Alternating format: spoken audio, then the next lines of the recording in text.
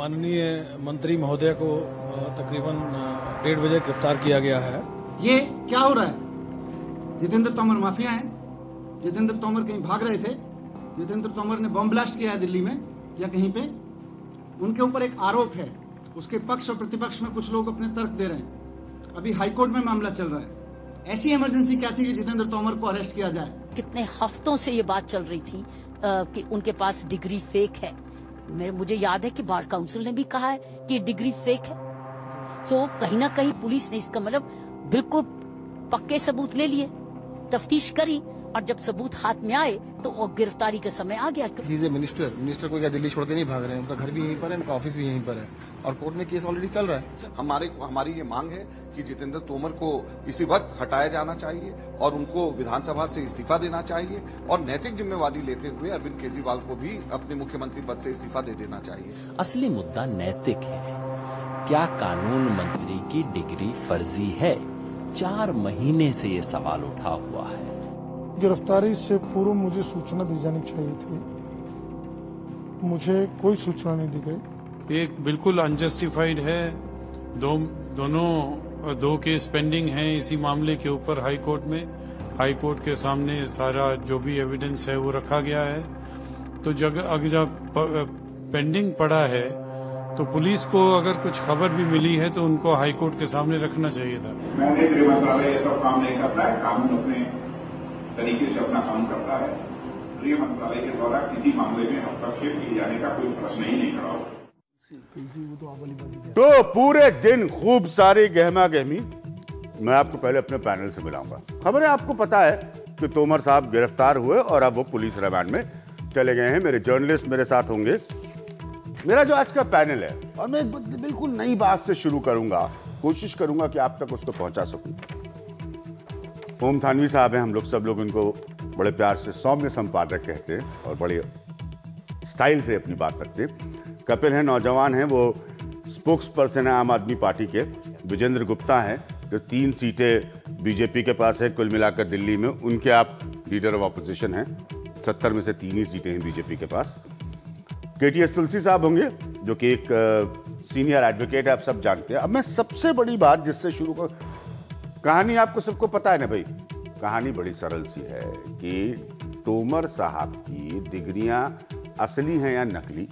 ये मामला चार पाँच महीने से चल रहा है। एक समय में इसको योगेंद्र यादव और प्रशांत भूषण ने भी उठाया, अब वो अलग हो चुके हैं। अब आम आदमी पार्टी की सियासी ड्रामेबाजी ये है कि ये सब मोदी सरकार करा रही है। जंग साहब से तो जंग इनकी चलती रहती है। तो अब ये सब कुछ है। इसमें एक बड़ा गंभीर कानून का पहलू है। लेकिन मैं आपको एक पहलू बताना चाह रहा हूँ। ध्यान से सुनिएगा उसे। ये है दिल्ली विधानसभा चुनाव में उम्मीदवार की चयन की प्रक्रिया के डिटेल्स आम आदमी पार्टी के, यानी कि उनकी स्क्रीनिंग का प्रोसेस क्या होता है, जिसमें मैंने कहा, ओम थानवी साहब, बहुत सीनियर इस देश के जर्नलिस्ट हैं, हम लोग इनको पढ़कर पढ़े हुए सबसे पहले इन्हीं से प्रश्न पूछूँगा। इसमें बहुत सारी बातें लिखी हैं, दो मैंने निकाल के रखी हैं। जरा कुछ लाइनें, इनकी स्क्रीनिंग कमेटी का डॉक्यूमेंट है या आप गूगल कर सकते हैं, आम आदमी पार्टी के साइट पर आपको मिलेगा। कोई व्यक्ति दागी है अथवा नहीं? कोई व्यक्ति दागी है अथवा नहीं? यह सिर्फ़ पुलिस रिपोर्ट के आधार पर नहीं। सिर्फ़ पुलिस रिपोर्ट के आधार पर नहीं, आज ये पुलिस को क्वेश्चन कर रहे हैं। इनको पूरा अधिकार है। बल्कि जनता द्वारा उपलब्ध कराए गए तथ्यों के आधार पर भी तय होगा कि कोई व्यक्ति त्यागी है या नहीं।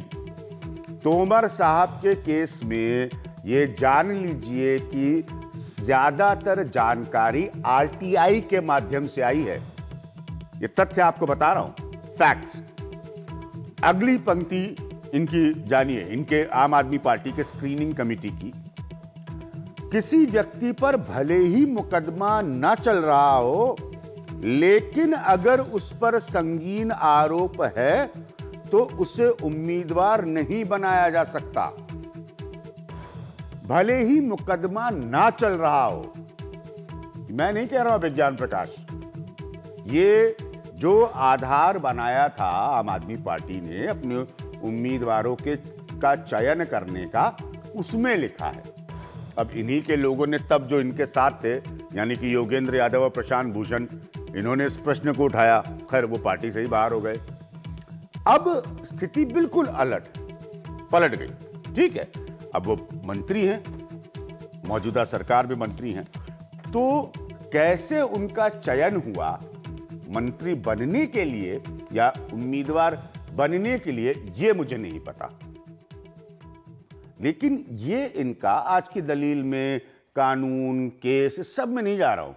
कैसे कोई उम्मीदवार उन, आम आदमी पार्टी का बने? ये उनकी चयन प्रक्रिया का हिस्सा मैंने आपको पढ़ा है। इससे पहले पॉलिटिकल प्लेयर्स हमारी चर्चा में आए, जैसे मैंने कहा, मैं सबसे पहले ओम थानवी साहब के पास आऊँगा। थानवी साहब, ये इन्होंने साफ़ सुथरी बड़ी सोच की राजनीति का आधार बताया था। आज स्पष्टतः ये साफ़ है। या तो दिल्ली पुलिस को मुँह की खानी पड़ेगी, या बड़ी अदालतें आज के फैसले को नकारेंगी। लेकिन जब इन्होंने तोमर साहब का चयन किया होगा, त्रिनगर विधानसभा क्षेत्र से उनको चुनाव लड़वाने का, क्या ये बात उन पर लागू नहीं हुई होगी, सर? देखिए ये मैंने कह सकता हूँ कि जब चुनाव के लिए प्रक्रिया चल रही होगी या उम्मीदवार जब तय किया गया होगा जी। तब उनके सामने कितने तथ्य आए। लेकिन जब तथ्य सामने आ गए अदालत में मामला पहुँच चुका जी। तो उस वक्त बहुत अच्छा पॉइंट आपने उस वक्त ये चाहिए था केजरीवाल जी को कि वो इनको मंत्री पद से हटा देते उनकी विश्वसनीयता बढ़ती। सही कहा और उसके बाद जाँच चल रही है जाँच जब पूरी हो जाती हाँ। तो होता। दूसरी बात एक और है कि ये जो प्रशांत और योगेंद्र यादव चाहे अलग हो गए तो उन्होंने जो मुद्दे उठाए थे वो मुद्दे यही मुद्दे थे कि हमें कम से कम अपने मामले में साफ़ होना चाहिए। दूसरा लोकपाल की बात क्योंकि लोकपाल के प्लैंक पर ही चुनाव जीते थे। अब ना अंदरूनी लोकपाल है उसको आपने हटा दिया। ना न बाहरी लोकपाल है। जी। तो ये आप पार्टी के स्तर पर जो चीज़ नज़र आती है खामी ये है। लेकिन इसके साथ साथ जो चीज़ें जो तकरार हुई क्यों है ये जो हमारे एलजी साहब हैं इन्होंने भी मेरा मानना है कि उपराज्यपाल पद की गरिमा को बहुत बट्टा लगाया है। ये बड़ा संवैधानिक पद है। और दुर्भाग्य से जो संविधान की गलियाँ छोड़ दी छूट जाती हैं उसका आप लाभ भी उठा सकते हैं या जैसा सुप्रीम कोर्ट के फैसले में कहा गया है कि ये शोभा की चीज़ें हैं इनको आप उस तरह से न लें। चुनी हुई सरकार की कोई अगर अहमियत न रह जाए और एक केंद्र का नुमाइंदा और इस स्तर पे बात हो कि आपके खिलाफ अखबारों में जाँच आगे की सीबीआई की रिपोर्ट जंग साहब के खिलाफ क्या है? सच है झूठ है क्या है? अब रातों रात आप एक व्यक्ति को एंटी करप्शन ब्यूरो का हेड बना दें। रात को तीन बजे एफआईआर दर्ज हो, सुबह गिरफ्तारी हो। ये चीज़ें संदेह के घेरे में इसलिए आती हैं कि इस तरह से तो पार्षद को भी गिरफ़्तार नहीं किया जाता है। हम जानते हैं इस देश में क्या है। केंद्र सरकार में भी हम जानते हैं कि ऐसे लोग हैं जिनके खिलाफ बलात्कार के आरोप हैं। हलफनामे झूठे देने के आरोप हैं। गिरफ़्तार नहीं हुए हैं। कल मान लीजिए एफआईआर हो केंद्र सरकार के किसी मंत्री के खिलाफ क्या आपने दो झूठे हल्फनामे दिए? क्या परसों उनको गिरफ़्तार किया जाएगा? हम जानते हैं कि ऐसा आमतौर पे नहीं होता है। तो ये जो संदेह के घेरे में चीज़ आती है ये चीज़ उस संस्था को भी अविश्वसनीय बनाती है लेकिन जो उपराज्यपाल की जी लेकिन आपने ही वही पॉइंट रखा जो बुनियादी पॉइंट है। यही तो आपका दावा था कि आप पारंपरिक जोड़ तोड़ जुगाड़ हेन तेन पर्दे के पीछे की राजनीति से ऊपर है। तब वो ज़्यादा बेहतर ढंग से उपराज्यपाल की कार्यस्थानी जो है उसे लड़ सकते थे। उससे लड़ सकते थे। अगर उन्होंने उनको मंत्रिमंडल से अलग कर तो दिया आज आज की स्थिति में ये मानने के बजाय कि ठीक है मतलब जैसे मैं मनीष सिसोदिया का बयान देख रहा था कौन है ये? ये क्या हो रहा है? ये माफिया है? अरे कोई दिक्कत नहीं अदालत में चल रहा है मैं थोड़ा ना यहाँ बैठ के तय करूँगा। तो जी आशुतोष मैं उस पॉइंट पे भी आऊँगा, वो पत्रकारों से कैसे मुखातिब हुए। मेरा पॉइंट ये कि फिर इतना आप आक्रामक क्यों हो रहे हैं? आपने, अगर फिर आप में और बाकी पॉलिटिकल सिस्टम के जो खामियाँ हैं, उसमें फिर बड़ा बुनियादी फ़र्क क्या रह गया? आपने इसी फ़र्क को उजागर करके जनता के सामने रखने की बात कही। जनता ने उस बात को पसंद किया और आपको सत्तर में से सड़सठ सीट दी। ऐतिहासिक, ऐसा होता नहीं डेमोक्रेसीज में सर और आज इतना आक्रामक हो कि क्यों इस चीज़ को डिफेंड कर रहे हैं? या ये सिर्फ़ बना रहे हैं कि अरे हम तो बहुत अच्छे हैं ये सब हमारे ऊपर सिर्फ़ अटैक हो रहा है। मैं तो सोचता हूँ कि अगर ये इनको बहुत अनुभव होता जी, तो जी। ये तो इनके लिए बड़ा फ़ायदे का काम हुआ है क्योंकि जनता जो है जी। ये ठीक है कि ये बात हमने मान ली कि आपको इन मंत्री को हटा देना चाहिए था जब तक जान सामने नहीं आती। लेकिन उसके बाद जितनी दास्तान है वो सारी आपके फेवर में जाती है किस तरह से एफआईआर दर्ज हुई किस तरीके से पुलिस अधिकारी काम कर रहे हैं किस तरीके से जंग साहब के खिलाफ सीबीआई की रिपोर्ट में ज़िक्र है किस तरीके से सीएनजी जो फिटमेंट वाला मामला है उसकी जाँच क्या चल रही थी ये सारी बातें जब लोग पढ़ते तो उनकी सहानुभूति सरकार के साथ होती क्योंकि मंत्री को हटा चुके होते। सही बात है बड़ा तो- लंबा इतिहास तो है। पिछले मनमोहन सिंह सरकार का मंत्री हटाए गए जब उनके ऊपर आरोप लगा और तब हटाए गए या दबाव बना बीजेपी जैसी पार्टियों ने दबाव बनाया इसलिए नहीं कि कानूनी प्रक्रिया चालू हो गई दबाव एक परसेप्शन का होता है राजनीति में धारणा का होता है। लड़ सकते थे। जी। उत्तेजना में नहीं उत्तेजना से आपका तर्क कमज़ोर हो जाता। है आपका तर्क। मेरे साथ में आप ही आप विजेंद्र गुप्ता जी बोलना चाह रहे हैं स्वाभाविक है अ, कपिल जी जो आम आदमी पार्टी की तरफ़ से वो मेरे बातों का जवाब देंगे लेकिन मेरे साथ में सीधे चल सकता हूँ।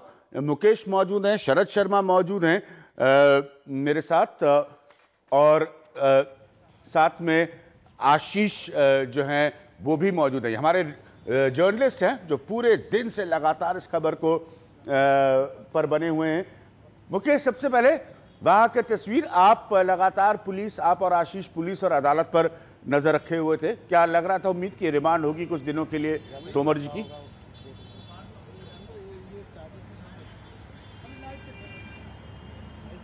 देखिए बिल्कुल जिस तरह की जो चार्जेस लगाए हैं तोमर पर उससे ये साफ़ हो गया था कि जो पुलिस रिमांड मांगेगी निश्चित तौर पर रिमांड मिल सकती है पुलिस को और वही हुआ। पुलिस ने पाँच बजकर सात मिनट पर जितेंद्र तोमर को कोर्ट में पेश किया और पेशी के बाद जो है फिर लंबी बहस हुई और बहस करीब दो घंटे ये बहस चली और बहस के बाद फिर ये फैसला आया। आशीष मेरे सहयोगी हैं जो कोर्ट लंबे समय से देखते आ रहे हैं। आशीष कोर्ट के अंदर थे आशीष से पूछते हैं आशीष कोर्ट में क्या क्या हुआ क्या खास बातें? बचाव पक्ष और जो अभियोजन पक्ष उसने रखी। जी देखिए पर मुकेश आशीष से प्रश्न पूछने के बाद एक छोटी सी चीज़ पॉइंट आउट करूँगा। यहाँ पर एक बहुत सीनियर पैनल उन्होंने है। ये पूछा था मुकेश अगर आप मुझे सुन सकते हैं प्लीज़ आशीष से पूछिएगा क्योंकि आम आदमी पार्टी के लोगों ने आरोप लगाया है कि उनके साथ बदसलूकी हुई। ये सब ये सब बातें आम आदमी पार्टी ने कही हैं। अदालत की कार्रवाई में क्या हुआ पुलिस की बातचीत में क्या हुआ तो ये सब आरोप है ये बड़े सीरियस चार्जेस है क्योंकि पुलिस कह रही है कि सब कुछ इन कैमरा हुआ है। तो आप दोनों लोग ज़रूर बताइए इसके बारे में।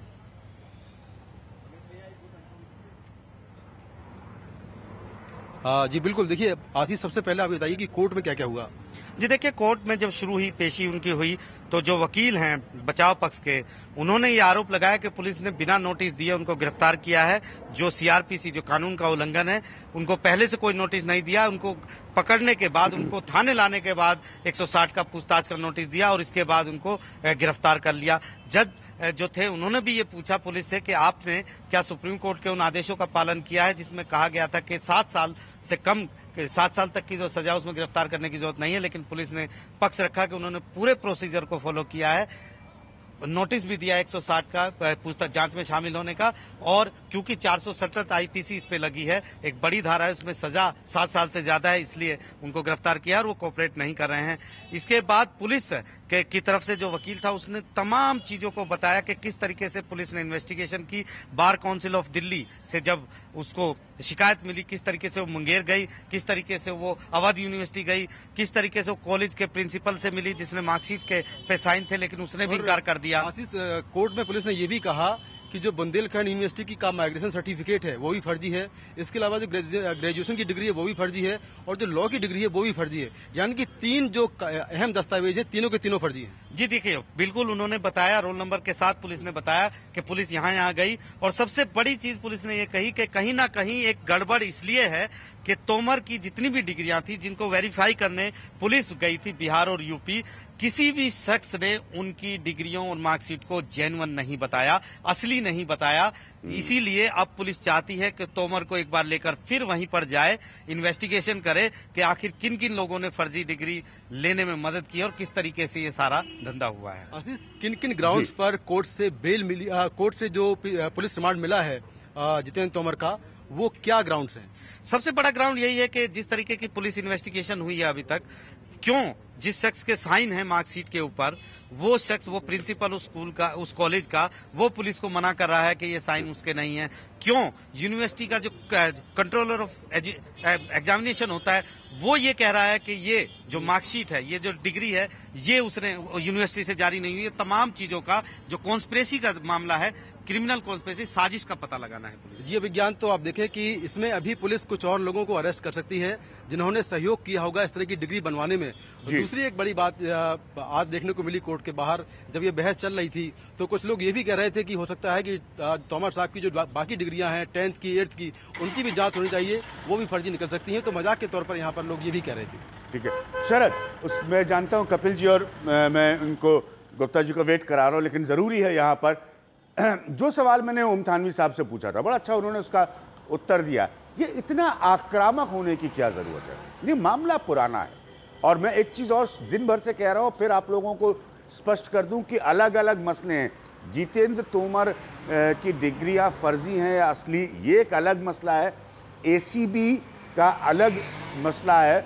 और साथ में जो सीएनजी का है, वो अलग मसला और चौथा पॉइंट है, इसके ऊपर की सियासत तो सबको एक एक साथ जोड़कर कृपया मत देखिएगा। हम फोकस कर रहे हैं इस वक्त जितेंद्र तोमर के फेक डिग्रीज के मामले में। इतना अग्रेसिव क्यों होना चाह रही है? जबकि उनको पता था आम आदमी पार्टी को कि जितेंद्र तोमर की डिग्रीज जो है, वो क्वेश्चन में है, उस पर आरटीआई से जानकारी ली जा चुकी है। शरद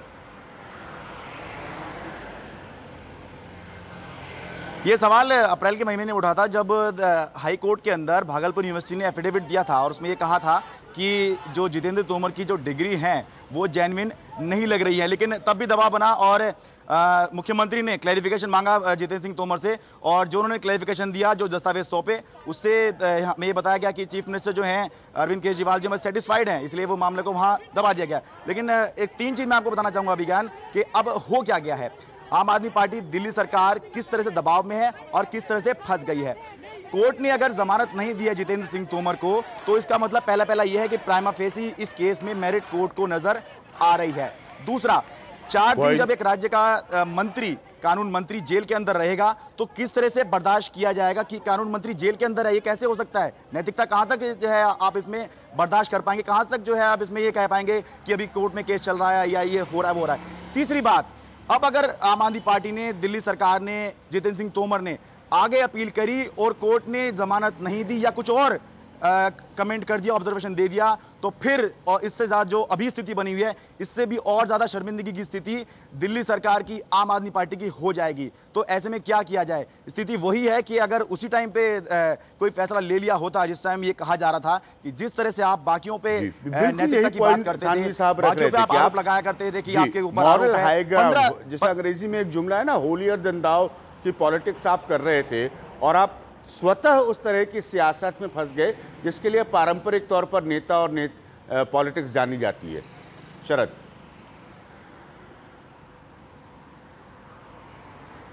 अब बिल्कुल मैं एक, चीज- एक चीज़ और बता रहा था मैं कि नैतिकता की बात थी जिसके ऊपर अरविंद केजरीवाल ने मैं आपको याद दिलाऊं 2012 के अंदर जुलाई जंतर मंतर पर अरविंद केजरीवाल ने 15 मंत्रियों के खिलाफ केंद्र सरकार के यूपीए सरकार के मनमोहन सिंह सरकार के 15 मंत्रियों के खिलाफ अनशन किया था।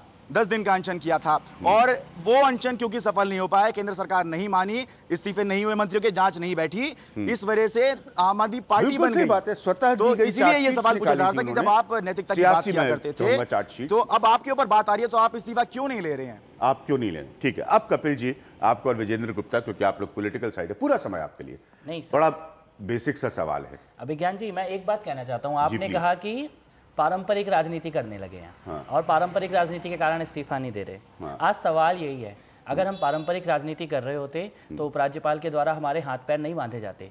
अगर हम पारंपरिक राजनीति कर रहे होते तो हमारे कानून मंत्री को एक- एक गिरफ़्तार नहीं किया जाता। नहीं, एक बार पूरा कर लेता हूँ फिर। आपकी बात सुन लेता हूँ। आप उपराज्यपाल के मसले पर खूब कार्यक्रम हम करेंगे। आज के क्योंकि देखिए ये तीनों मसले बड़े खूबसूरती से घुमा दिए जा रहे हैं। तोमर साहब का मसला अलग है और आप चाहिए तो मैं एक एक केस को डिटेल में आपसे मैं उस पर बहस कर सकता हूँ।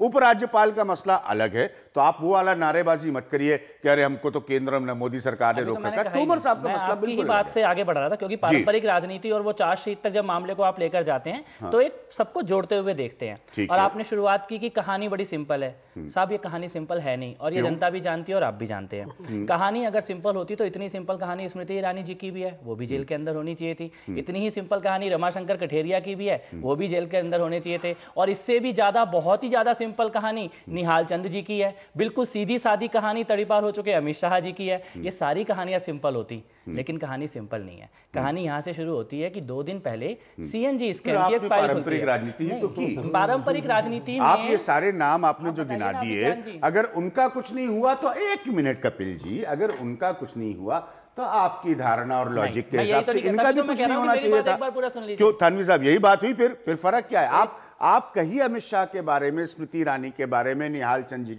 आपको पूरा आज़ादी और अधिकार है फिर इसमें क्या अलग है? मेरी बात पूरी सुन ले तो समझ हाँ में आ जाए शायद। बोलिए बोलिए मैं ये कहना चाहता था कि पारंपरिक राजनीति कर रहे होते हाँ, तो हाँ। किसी भी और राज्य के कानून मंत्री को ऐसा गिरफ़्तार नहीं किया क्योंकि सभी पारंपरिक कर रहे थे। हाँ। और इस प्रकार से चुनौती नहीं दे रहे थे। हाँ, दिल्ली अकेला ऐसा राज्य है जहाँ पे एंटी करप्शन ब्यूरो अपनी ताकत के साथ लड़ाई लड़ रहा है। दिल्ली अकेला ऐसा राज्य है जहाँ पर वो फाइलें खोली जा रही है जो लोगों ने सोची थी कभी खुलेंगी ही नहीं। 2002 के घोटालों की फाइलें खुल रही हैं। देखिए, हम हैं मैं आपको पहले भी जानते हैं आप मैं वैसी बहस नहीं करा था पूरा समय। जी। रातों रात आपको दूँगा आप रिस्पॉन्ड करिए। तीन तीन आदमी सही लेकिन आप प्रिंसिपल ऑपोजिशन पार्टी असेंबली में। जी। तो मैं यही कहना चाहता हूँ पारंपरिक राजनीति कर रहे होते तो कभी कांग्रेस ने भाजपा के खिलाफ ऐसी कार्रवाई नहीं करी कभी भाजपा ने कांग्रेस के खिलाफ क्योंकि पारंपरिक राजनीति में सदी बदी बात होती है। आज चुनौती किस बात की है? चुनौती इसी बात की है कि ये किसी की किसी को छोड़ने वाले नहीं है। इसीलिए इनको दबा दो। इनको दबाव में लाओ और इतना दबाव में लेकर आओ। जितेंद्र तोमर जी के मामले में आपने कहा मॉरल हाई ग्राउंड ले लेना चाहिए था और मॉरल हाई ग्राउंड लेकर इस्तीफा दे देना चाहिए था। मैं ये कहता हूँ नहीं लिया मॉरल हाई ग्राउंड तो क्या रातों रात गिरफ़्तार करके जेल में डाल देंगे? नहीं लिया मॉरल हाई ग्राउंड इसकी ये सजा होगी कि एक नई एफआईआर दर्ज हो जाएगी। नहीं लिया मॉरल हाई ग्राउंड तो इसकी ये सजा होगी कि विधानसभा अध्यक्ष को नहीं बताया जाएगा कानून का पालन नहीं किया जाएगा नोटिस नहीं होगा हमारे साथ है कानून के पहलू पर उनको अरेस्ट वारंट नहीं होगा नोटिस नहीं होगा और आप एक मंत्री को उठाकर गिरफ़्तार करके एटीएस में आतंकवादी विरोधी शक्ति आतंकवादी विरोधी जी, बल है उसके दफ्तर में ले जाकर बंद कर देंगे और उसके बाद झूठा कोर्ट में मैं थोड़ा सा बड़ा विचलित हूँ एक छोटे से पॉइंट से। बात सुबह से सुन रहा हूँ मैं। एक मंत्री को एक मंत्री को एक मंत्री को एक मंत्री को एक मंत्री को। ये फिर भाई आप गाड़ी नहीं लेंगे आप आम आदमी की तरह चलेंगे फिर आप मंत्री भी हो जाएँगे। जी मैं बताता हूँ। इसका कारण क्यों फिर क्यों आप मंत्री भी हो गए। मैं बताता हूँ। अगर बीजेपी वाले ऐसा करे कांग्रेस वाले ऐसा करे बड़े क्यों सत्ता के भोगी है ना? आप तो आप, समझ मंत्री नहीं होगी, आप- मंत्री को कानून समझिए मैं क्यों कह रहा हूँ इस बात को। मैं समझिए मैं क्यों कह रहा। हूँ। अगर जितेंद्र तोमर जी ने इस्तीफा दे दिया होता हाँ। तो ये पुलिस इन्हें गिरफ़्तार नहीं करती। गिरफ़्तार क्यों किया? क्योंकि आम आदमी पार्टी सरकार के मंत्री हैं और सरकार को बदनाम करना है। गिरफ्तारी उनके मंत्री होने के कारण किया गया है। तो ये बात तो आएगी कि मंत्री को मंत्री होने के कारण गिरफ़्तार कर रहे हो और पूरा ड्रामा क्रिएट कर रहे हो तो उसके पीछे आपको प्रोसीजर फॉलो करने चाहिए थे, कानून और संविधान की रक्षा करने की बात होनी चाहिए थी। लेकिन साथ में एक बात और है, यहाँ पर आज स्पष्ट होकर आ रही है।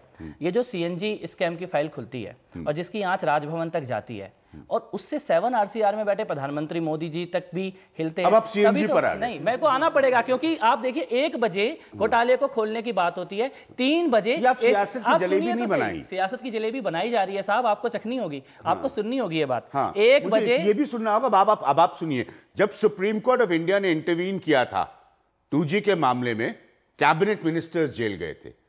तो ये जो आप लोग पुकार लगा रहे हैं सुबह से मंत्री जी को भेज दिया मंत्री जी को भेज दिया मंत्री जी लगा मंत्री जी भारतीय नागरिक है। एक मिनट एक मिनट मंत्री जी भारतीय नागरिक है या मंत्री जी भारतीय नागरिकता से ऊपर है?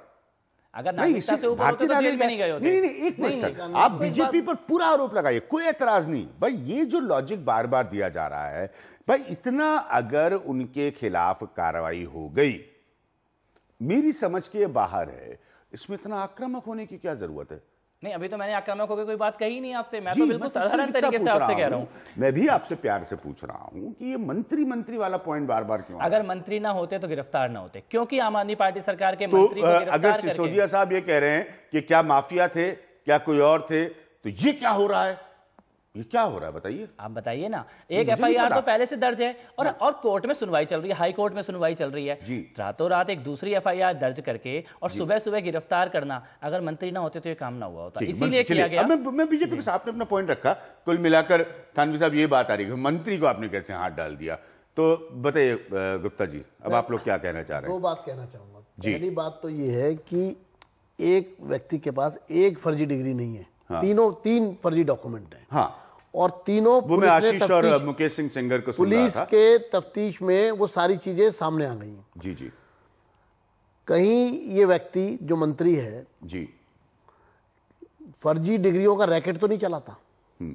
उन, उन रैकेटर्स के साथ तो नहीं मिला हुआ क्योंकि जब तीन डिग्री उसके ये अपनी। मैं वही कह रहा हाँ, हूँ नहीं तो मैं- वही कह रहा हूँ मैं वही कह रहा हूँ हाँ। कि एक बहुत बड़ा रैकेट है ये हाँ। जिसका वो हिस्सा हो सकता है। एक मिनट एक मिनट, हाँ। एक मिनट इसको सीरियसली लीजिए आप ये कोई साधारण बात नहीं है कि एक व्यक्ति हर पुलिस के पास हर डिग्री हर degree. Vijendra ji police commissioner देखिए, वो ये नहीं है। तौर पर कह आप- चुकी है आप- कि पुलिस स्टैंड्स मैं आपको तो पुलिस की बहुत बड़ी शर्मसारिता होगी अगर पुलिस का वर्जन गलत निकलेगा व्यक्ति- ये पुलिस की इन्वेस्टिगेशन है मेरी नहीं है। ये दिल्ली सरकार का है। मंत्री ग्रेजुएट नहीं है।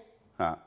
लॉ ग्रेजुएट नहीं है ये प्रूव हो गया। जी। यानी कि एक सेकंड एक सेकंड। वो आप अपने आप अपने तरफ़ से कहिए बात। हाँ। ये सामने सारी बातें आ गई हैं पूरी तरह से सामने आ गई हैं। उसको अब आप कितना भी घुमा लीजिए वो आपके ऊपर है। मैं अभिज्ञान एक बात जानना चाहता हूँ कि जिस संगीन अपराध में वो आज जेल गया है या गिरफ़्तार किया गया है उसी प्रदेश की एंटी करप्शन ब्रांच ने उसका कॉग्निजेंस क्यों नहीं लिया अभी तक? एक बार भी।